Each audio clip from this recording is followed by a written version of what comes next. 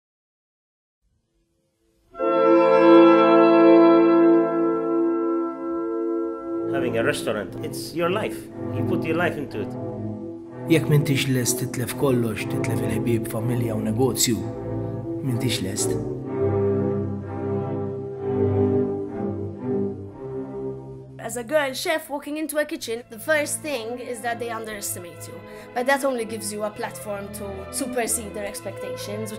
Jiena xi nittini ħuta u niftaħ zaqqa u naddafa, ngħidlek xkielet, ngħidlek fejn trabbiet, skont xi kollha b'żaqqa, inti tkun taf il-ħuta x'għandha wkoll bżonn. You have to wake up, you get up early, you go and pick up your produce, you come and cook, you have to feel it coming up your veins. Some people say it's a form of expression of love preparing food. Happy chefs Make good foods. Tferfir, tferfir kbir ġo ġismek. Meta inti għaddej, għandek qalbek tira u nizla fuq mija.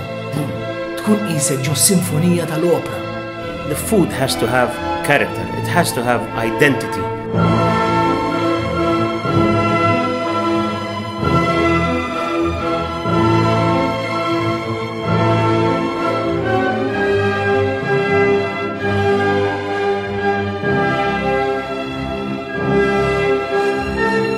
Watching their faces when they take the first bite, there's nothing like that.